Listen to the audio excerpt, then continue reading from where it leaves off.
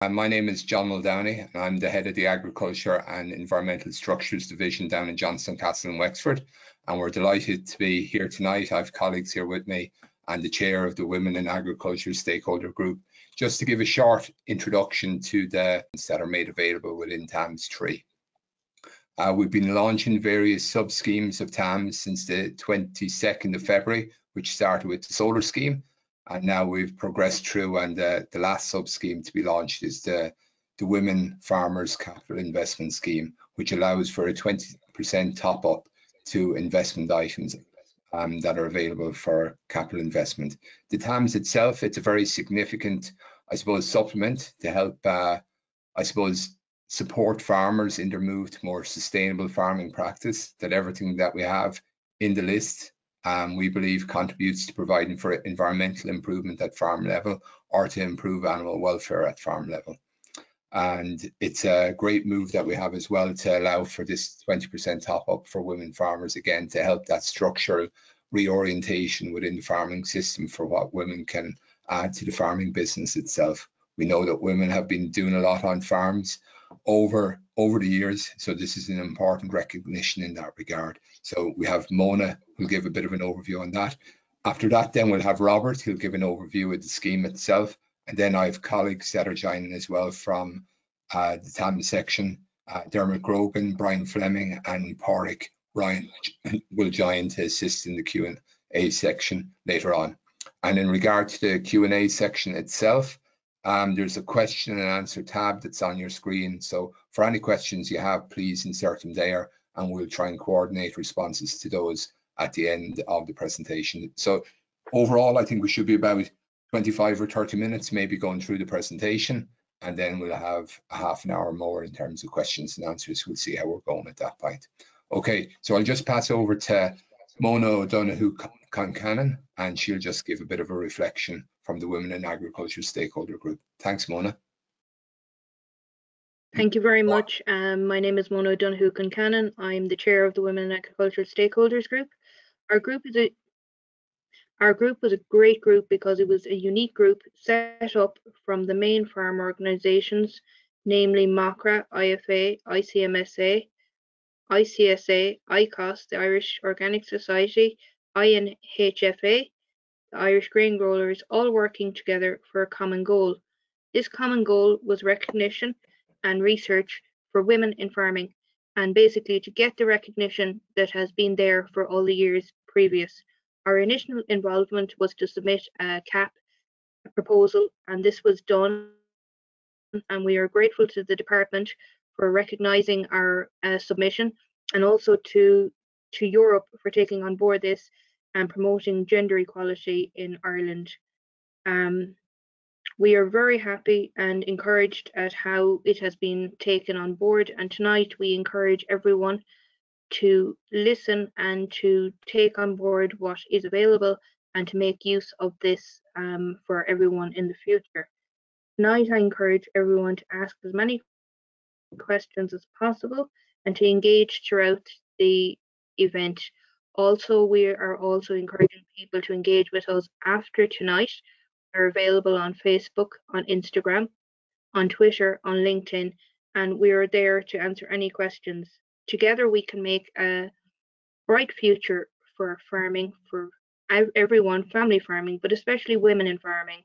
And we want to just create a platform where all voices are heard, male and female, together working together for a brighter future because we feel that farming is a future and it is working together like we have in the past that we will bring everyone together. And we're delighted to be asked here tonight and again thank you very much and look us up on social media and go forward. We we would hopefully this would be only a starting point and that we would work with different initiatives to bring to the department because we are delighted that they have taken on board so far and working into the future, this will be the first of a stepping stone. So thank you very much, and we will um, look forward to more engagement in the future. Thanks very much, Mona. Uh, Robert, over to you now with the presentation. Thank you, John. Good evening. So uh, my name is Dr. Yeah. Robert Leonard um, with the Department of Agriculture. I'm just going to go through an introduction to the Women Farmer Scheme, going through just some of the background, um, the terms and some of the main eligibility criteria and what's in the scheme. Um, overall, um, TAMS 3, just as a general background, so, um, is the new capital investment schemes and they're to run from now until 2027. Um, in the development of the TAMS 3, there was a full review of all the investments from TAMS 2 undertaken, um, and the terms and conditions have been updated and revised for all the, all the schemes to conform, conform with the new CAP strategic plan. So there's been a lot of um, changes and work done to make sure they meet the requirements. Um, as part of the CAP strategic plan, all the investments, they have to have either climate, environmental, animal welfare, health and safety benefits to them. So it was there must have been some positive outcome or benefits for any investments to be included in TAMS 3.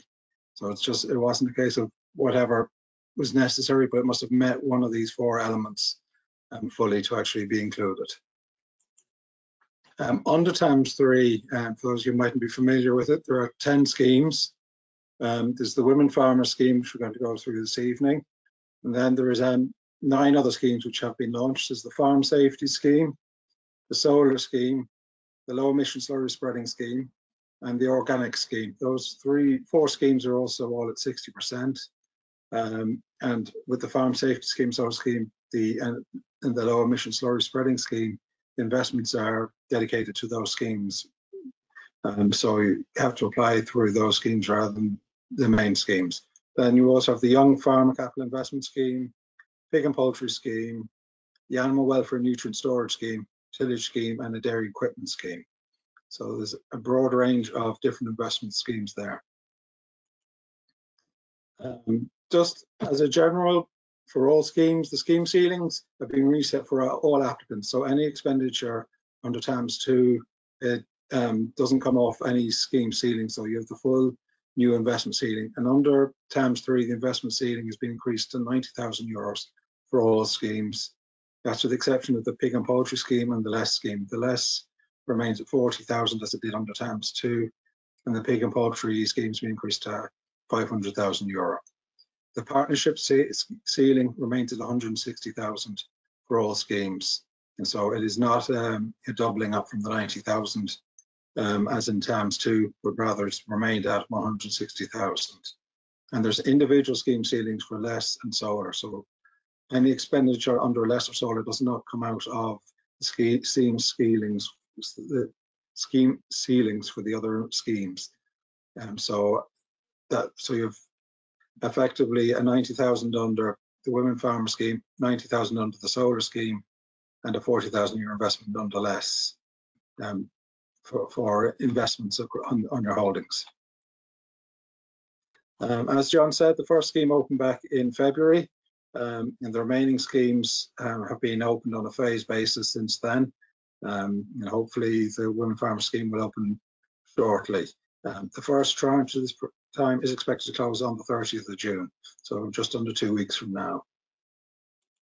So getting into the elements, the Women Farmer Scheme, it's been put together to give enhanced support to start or expand businesses for uh, women in agriculture. There'll be a 60% grant rate, so increase from the 40% uh, onto the animal welfare scheme to 60% for women farmers. There's a 90,000 euro investment ceiling and the 160,000 euro for registered farm partnerships. Um, what should be remembered, I suppose, is that joint ventures are only at the 90,000. They're not partnerships. They're considered individuals as are companies. They will be considered individuals and they're also at the 90,000 euro ceiling. So it's only the registered farm partnerships of 160,000 euro ceiling. Um, the women who, to be eligible must be um, female registered as female on the department's CCM system, that's the corporate customer management system, and must be aged between 18 and 66. So that is up to your 67th birthday. So from, from being 18 up to, to 66.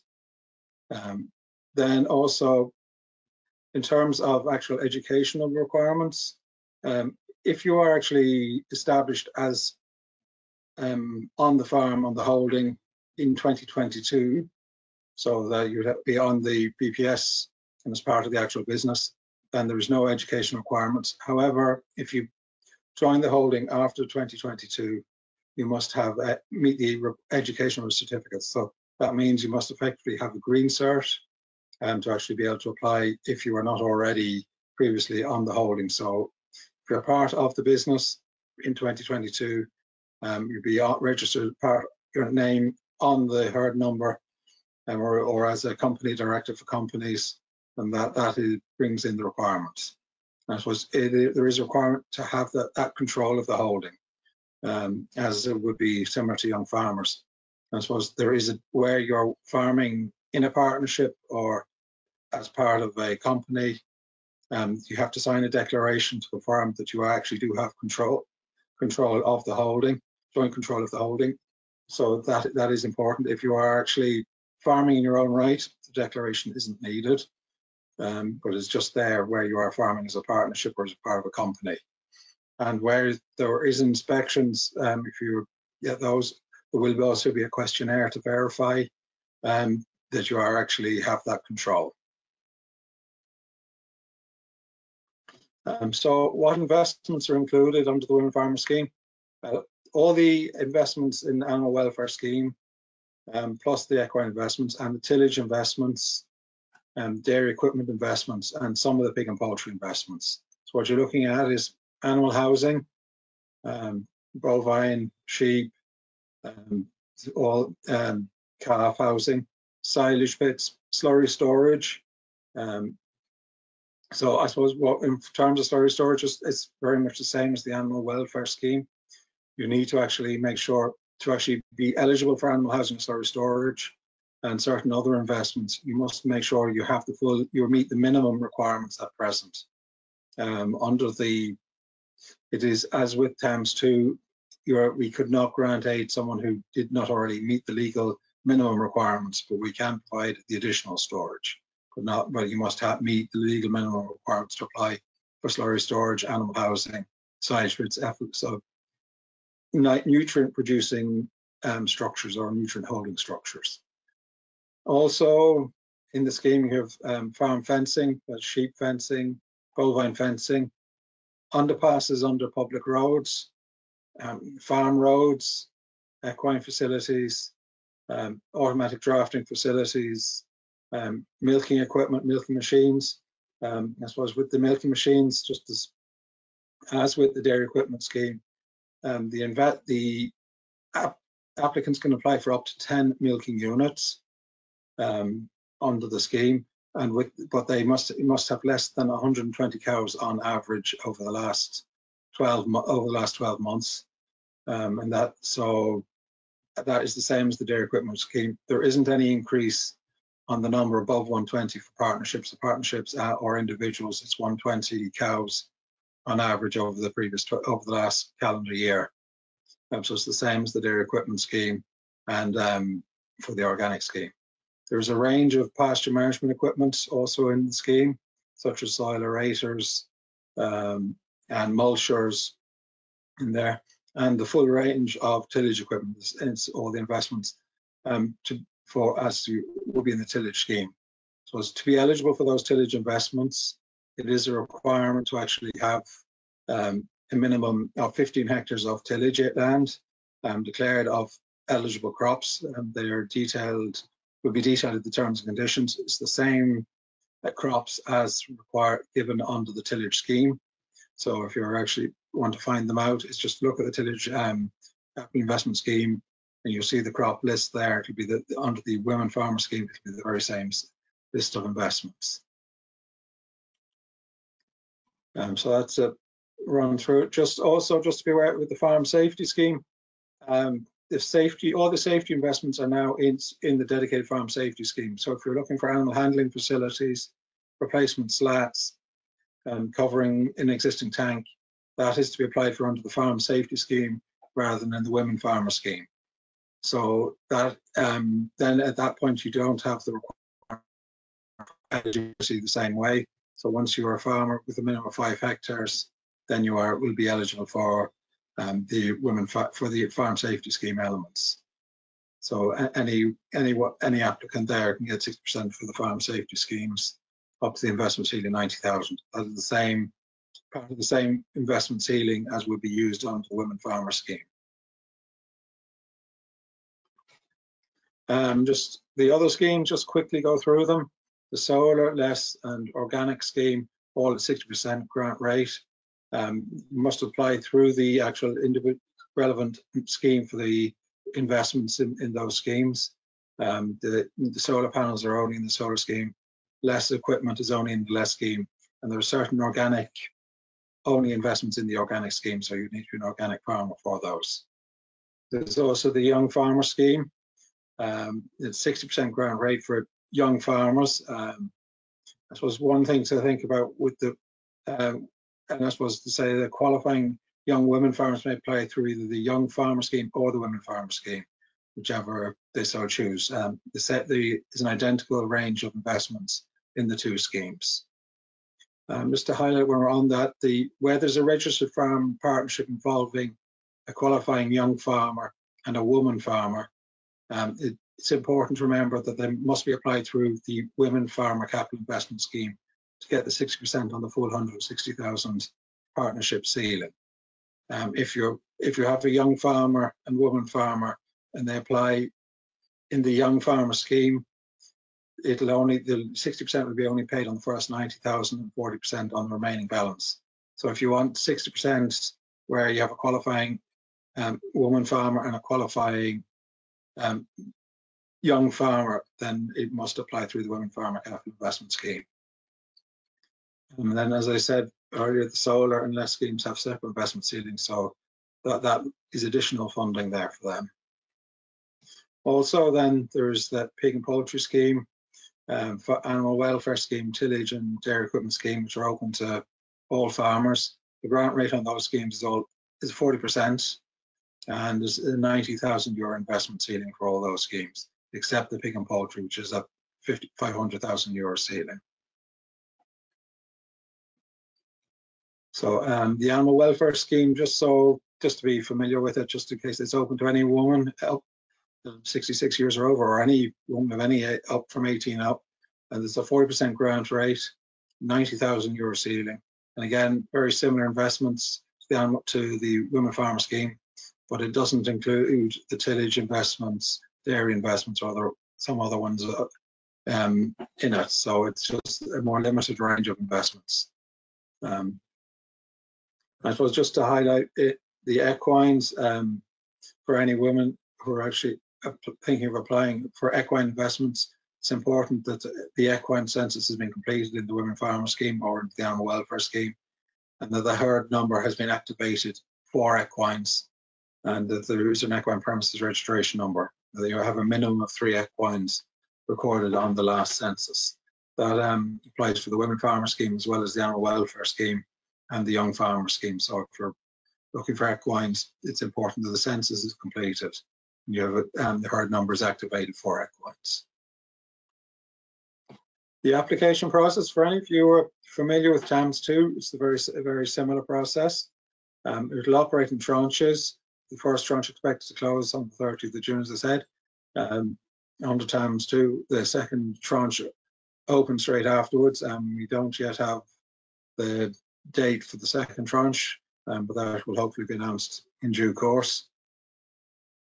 Um, so to get system access, if you don't already have so, um, it's to access is through agfood.ie. Um, you're being used to under TAMS, anyone who has applied under TAMS 2. So if you don't already have access through agfood.ie, it's important to actually go on. If you go on to agfood.ie, you'll see the links there. Um, it will tell you how to actually get, get access onto it, uh, set up access for it.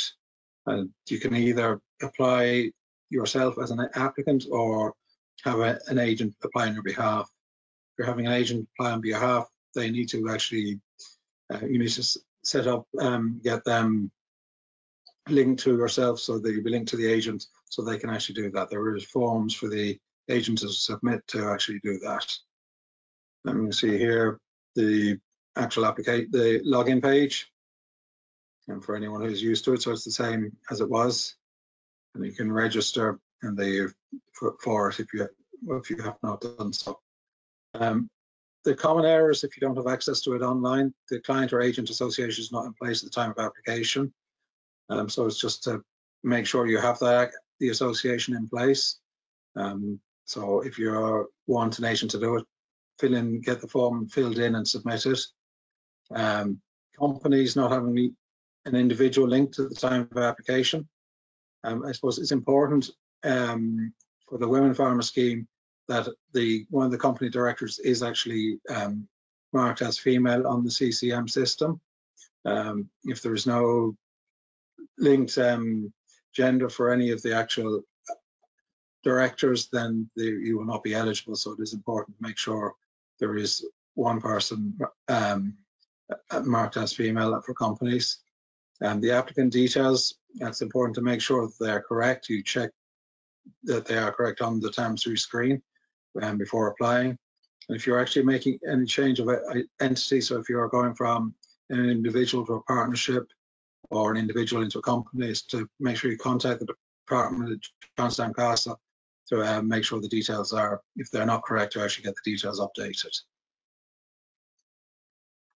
So this will be your typical access screen. If you're you'd be familiar with it from TAMS 2, you can see the TAMS 3 systems there um, for the different schemes you're eligible to apply for.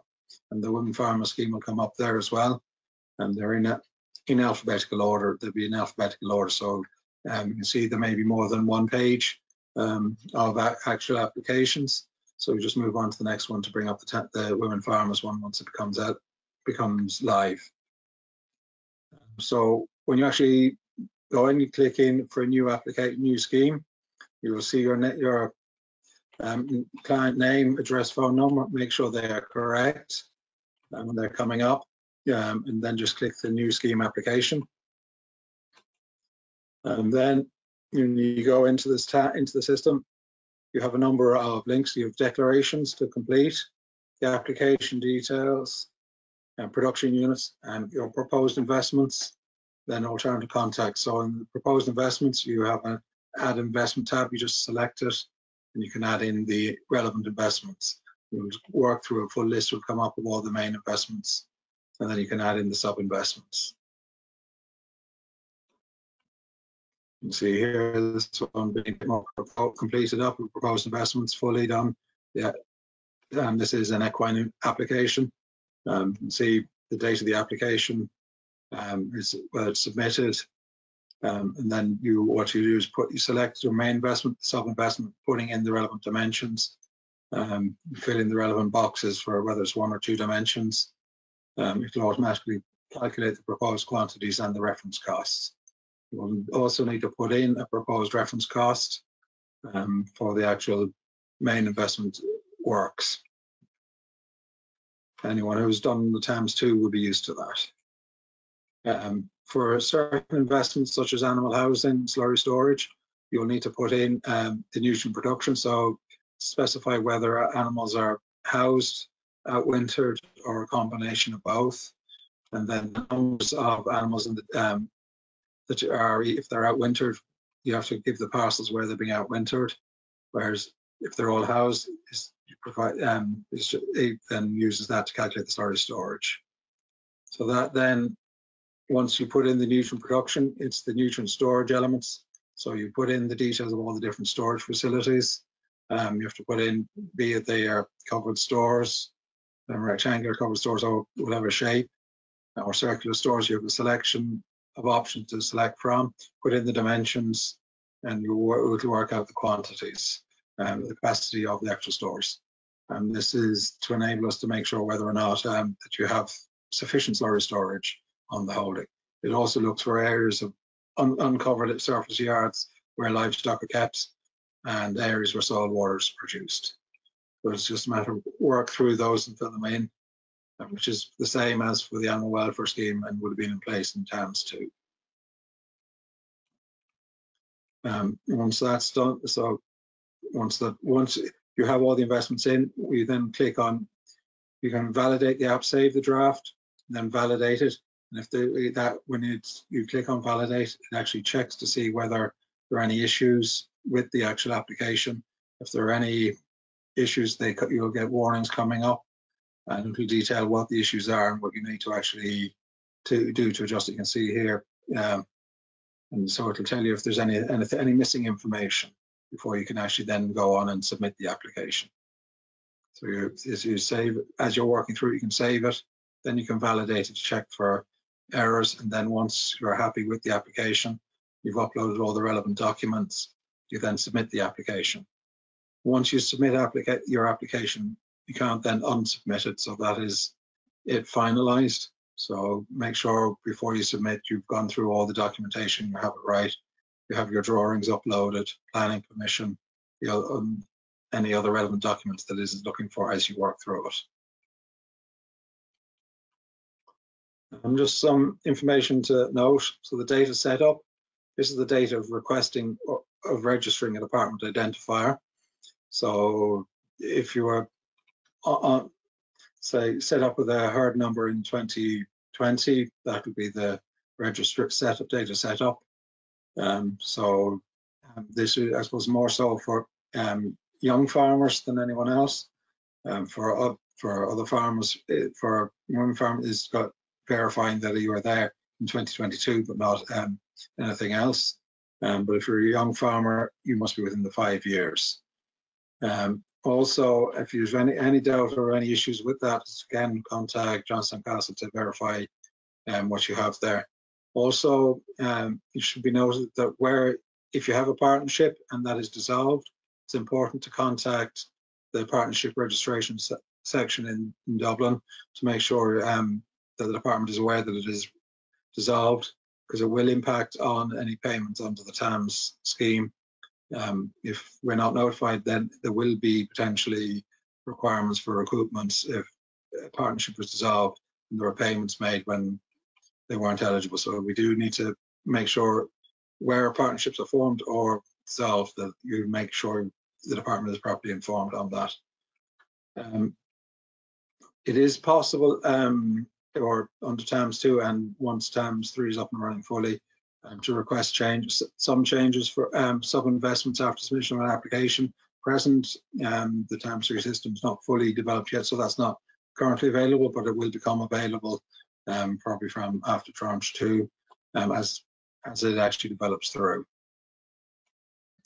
Planning, um, it's important to note that full planning permission must be granted at time of submission of an application. So it's not just the grant of application, but the full and final planning permission must be granted at time of application. Then you must submit it, copies of the planning documents with the actual, as part of the application. So the system will look for them.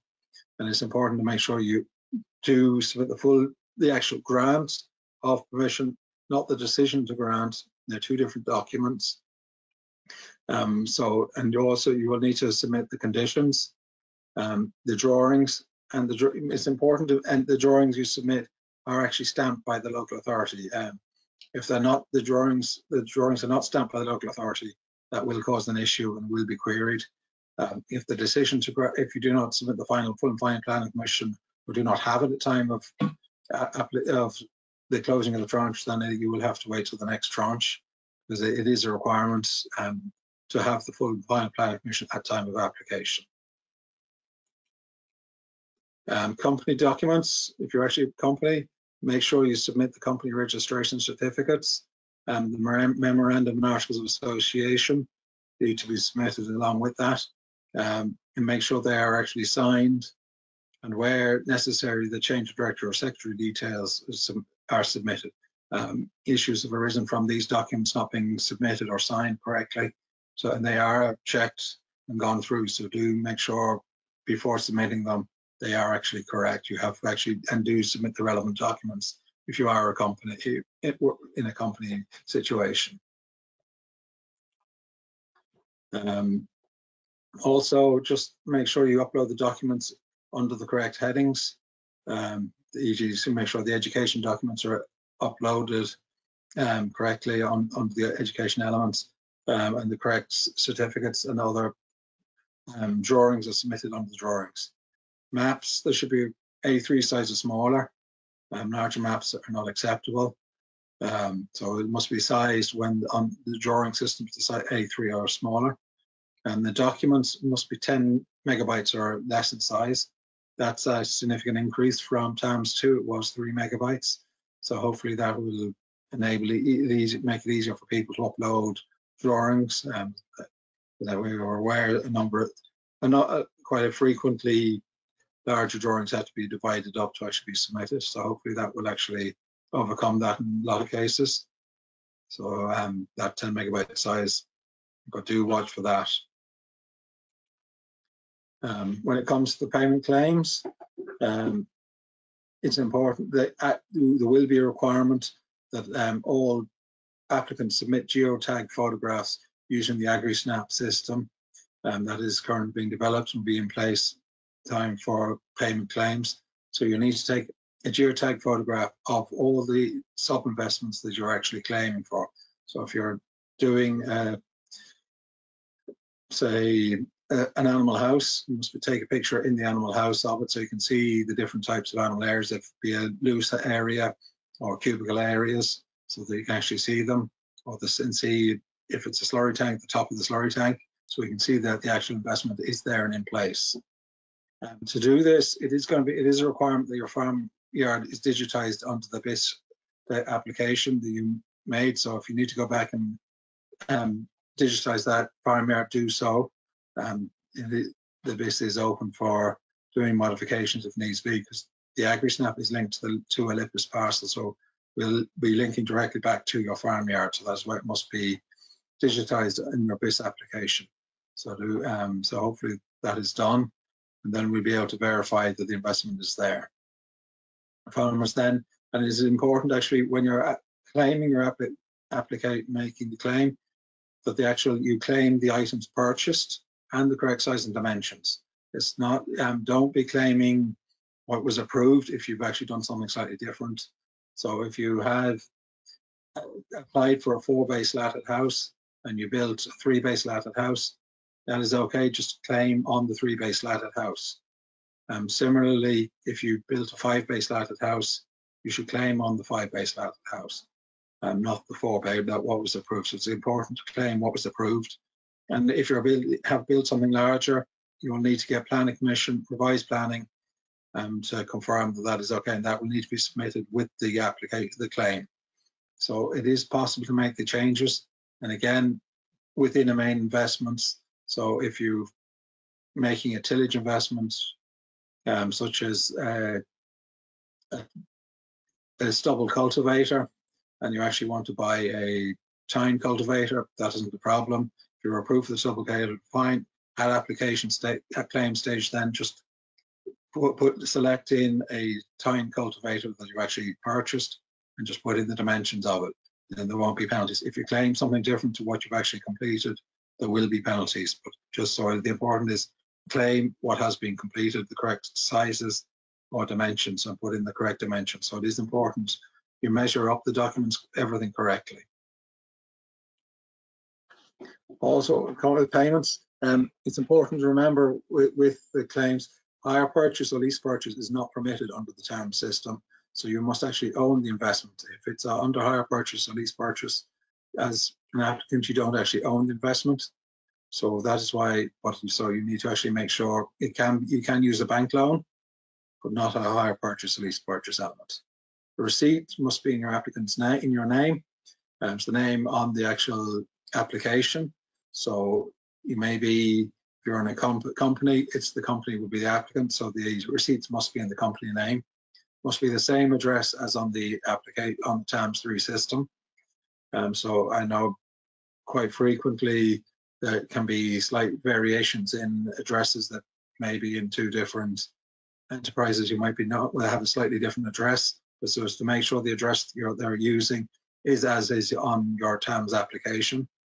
Um, your VAT, any amount VAT charged must be showing the company's VAT number, receipts must be marked paid, stamped, signed, dated, and must be legible, and clear descriptions, including the size and volume and serial numbers where they're relevant.